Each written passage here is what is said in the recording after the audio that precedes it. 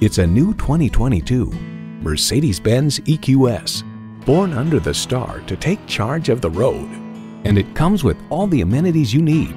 Integrated navigation system with voice activation, front heated and ventilated leather bucket seats, Wi-Fi hotspot, express open and closed sliding and tilting sunroof, automatic transmission, all-wheel steering, streaming audio, dual zone climate control, automatic with driver control suspension management, autonomous cruise control, and electric-only powertrain. High style, high performance, Mercedes-Benz.